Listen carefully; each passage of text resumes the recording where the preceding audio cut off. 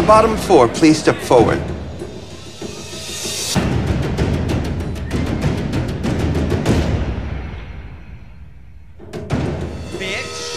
Blu. With great power comes great responsibility. Which queen have you chosen to get the chop?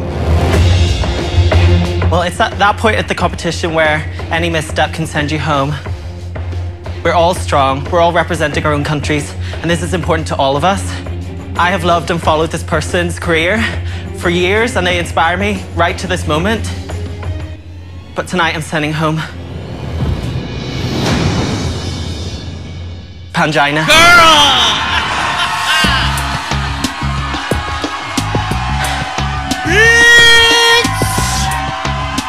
Oh my god!